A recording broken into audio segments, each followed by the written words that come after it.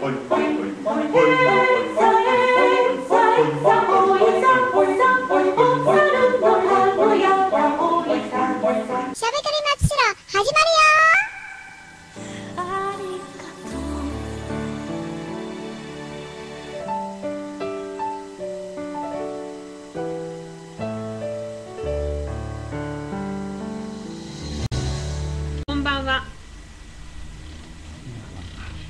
しゃべくり松代2月27日今日は私マガリオが担当してお送りいたします。えーここ松代町歩きセンターにもお雛様が飾られました。3月3日から始まる松代でひな祭りそれを陰で支える皆様に今日はお集まりいただきました。えーお話を伺ってまいります最初に、えー実行委員長の佐藤さんから今年のひな祭りの概要についてお話しいただきたいと思います。お願いいたします。こんばんは、えー実行委員長の佐藤でございます、えー今年は、えー真っ白の春を告げる風物詩真っ白でひな祭りが第10回目を迎えます、えー第10回目の、えーひな祭りは、えー流しびな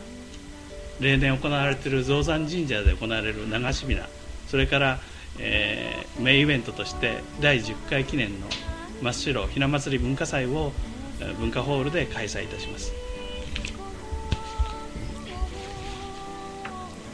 えーいいですかね、ははい。い、あの真っ白のうん文化施設とか、それから、えー文部学校、真っ白の商店商店街、そこらそそちらの方に100箇所ほどを、えーおひな様を飾り飾って皆さん見ていただくような形で、えー計画しておりますので、えーぜひ見に来ていただきたいと思っております。え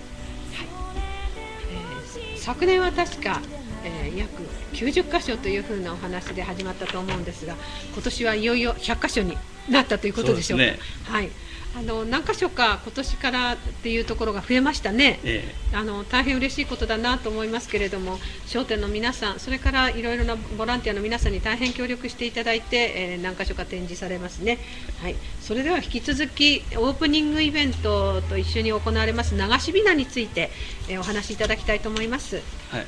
えー例年、えー増山神社の境内を、えー利用いたしまして流しびな、えーを行っております、え流しびなというものは、えー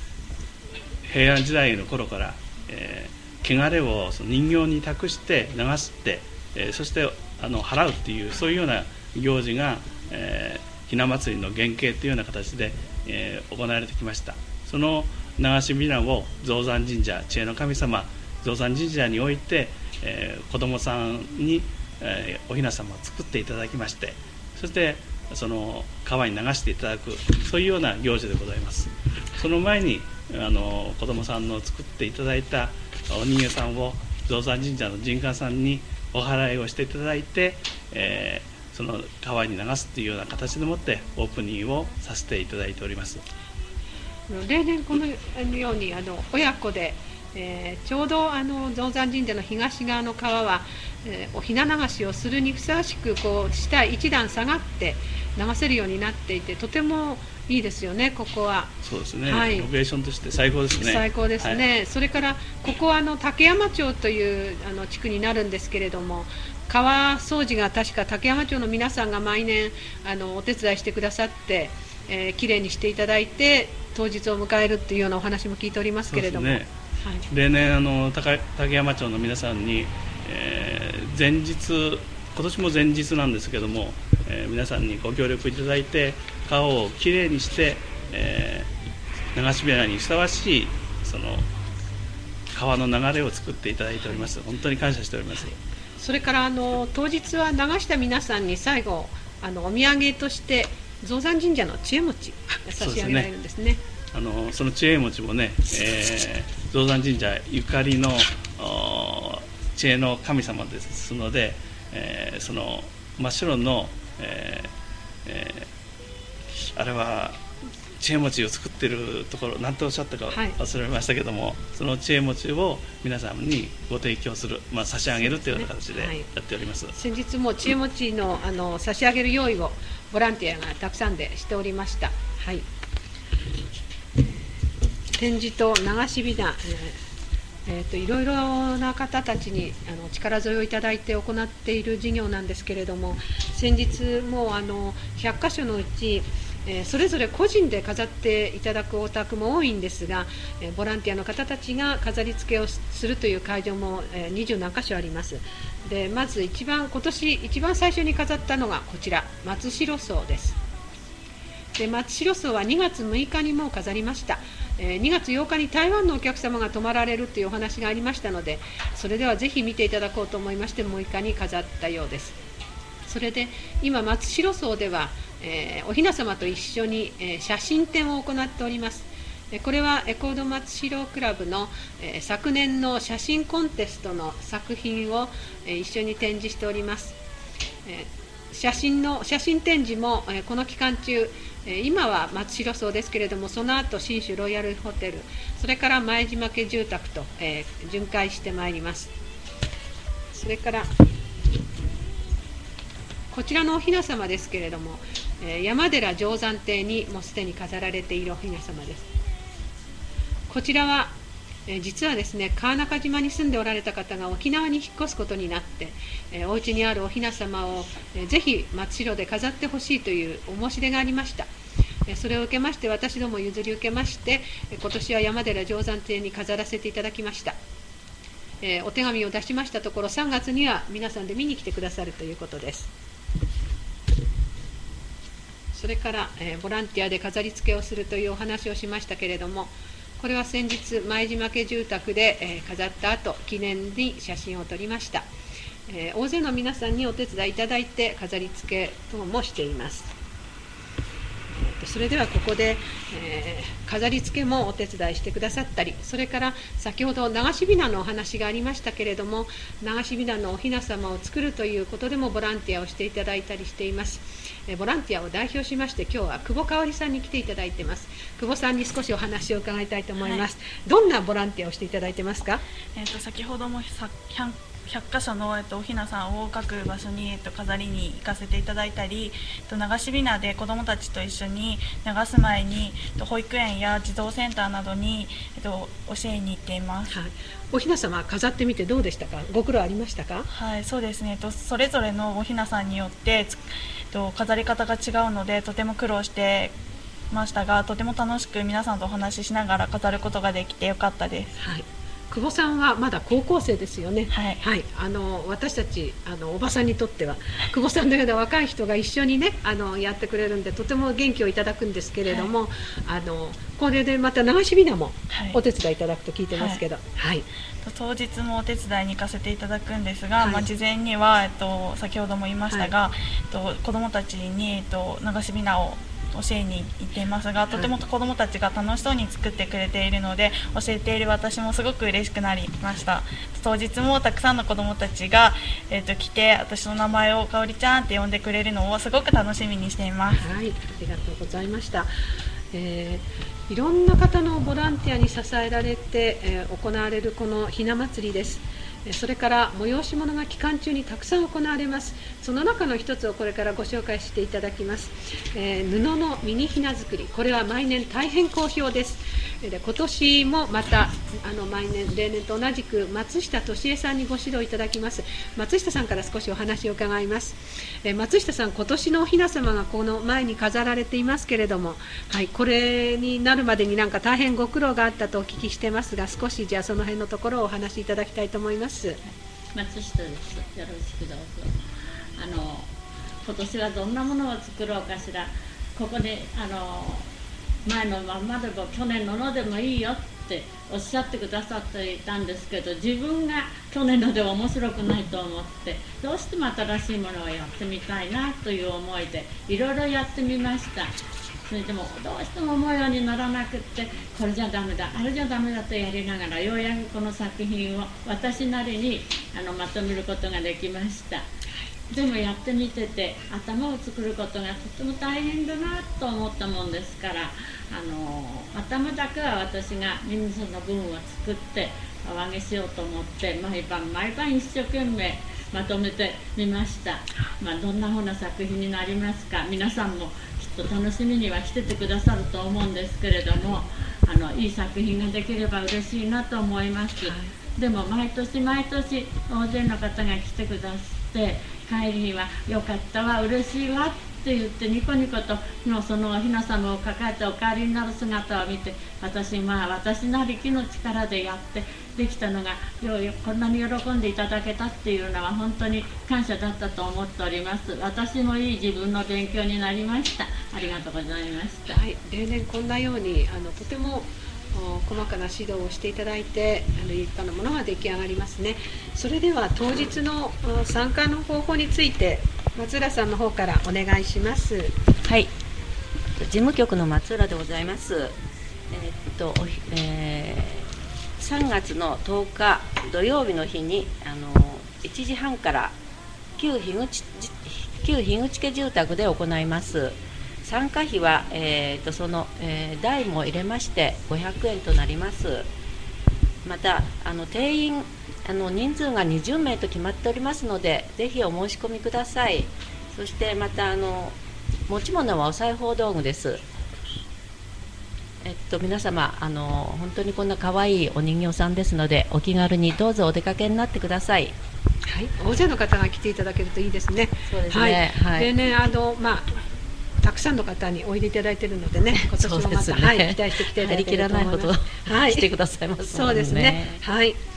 えっ、とそれからあの今年ならではの催し物が一つあります。実は3月いっぱいでえー長野電鉄の八代線が廃止になってしまいます。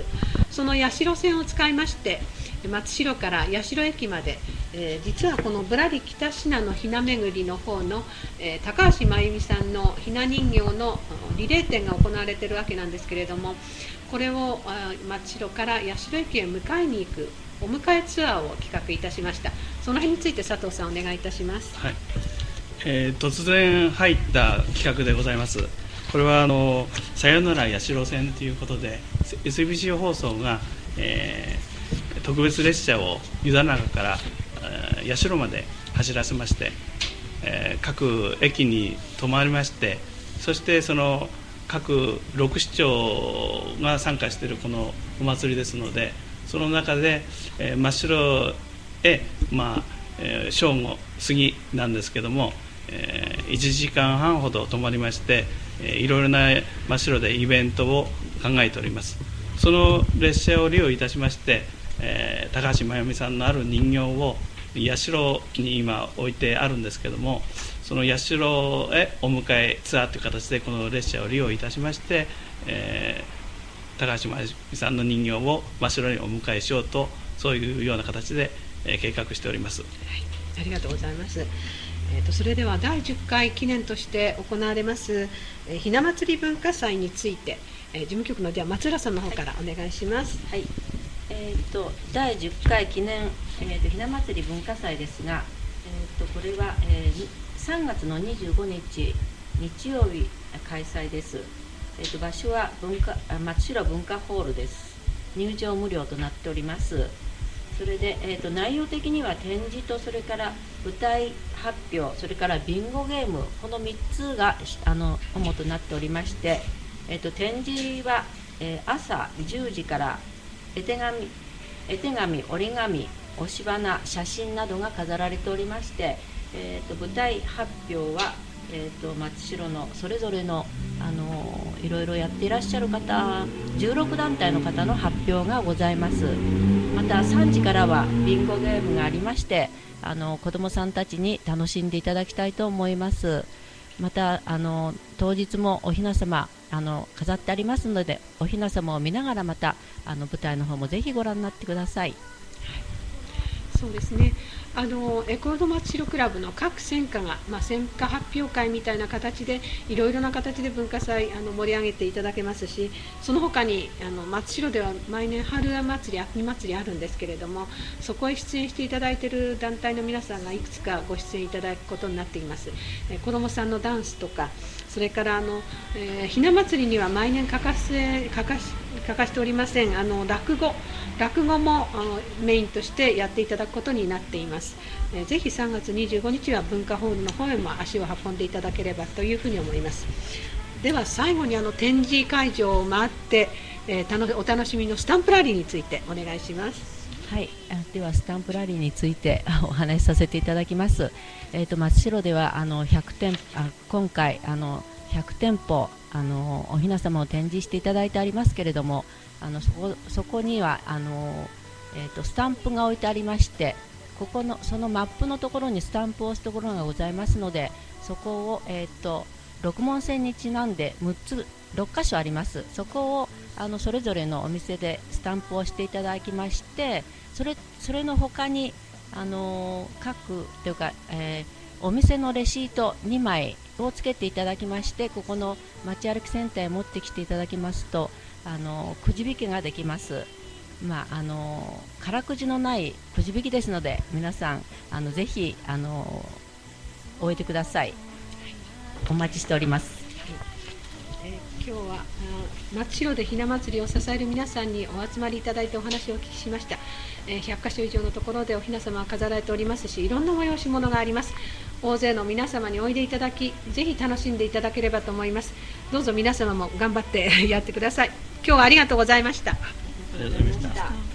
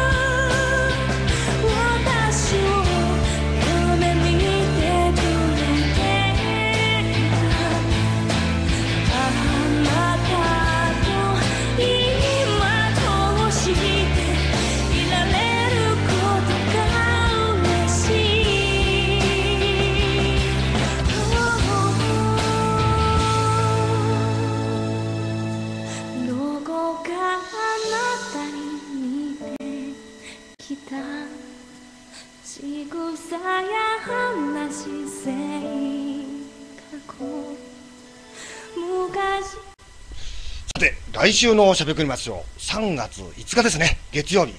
えー、パーソナリティは私です。ということで、久しぶりですかね、私パーソナリティやらせていただきます。それで、ゲストなんですけども、なんと、山岸みどるさん。はい、山岸です。よろしくお願いします。山岸みどるさんはですね、ハーモニカ演奏でね、ボランティアで回ってらっしゃるということで、来週よろしくお願いします。はい、よろしくお願いします。えー、山岸さん、どんな話をしてくれるんですかそうですね。ねまああの、ねほぼね、ねえーボランティアで回っておりますので、あねはい。そういうお話とか、ねハーモニカのまあ種類とかね、ねそそんなこともちょっと説明したあそうですか。いろいろな種類を説明してええくれると。はい。ちなみにどんなふうなあるんですかね、あのハーモニカは。えーまあ大きいのから小さいのありますがね。大きいい、のって言ったらこんな大そうですね。小さいのって言うとどんなのなんですか？小。さいのはですね、そう私今これやってますがね、んこれハーモニカですか？これハーモニカですね。ああ。それうん音出るんですか？出ます。穴小さいですけどね、出るんですか？出ます。見てますか？え、まあこんな音がしますね。音は出るけどそれええあれですか？まあ歌も曲なんかできるんですか？できますね。あできる？まあえそれで？へはいえ。素晴らしいこんな小さいので？はいこんなので？よくねこれ吹いてますと皆さん集まってくるんですよ。はいこれで吹いてればねはい。曲吹いてれば集まりますよね。集まりますね。で、はいそれはあれですかね？その曲は来週ということですかね？ああわかりました。ね。じゃあちょっと取っておきたいと思いますね。よろしくお願いします。お楽しみにってことですね、はいそれではこの小さなハーモニカでも曲ができるということでね、えーそれでは来週のしゃべくり祭ろどうぞお楽しみに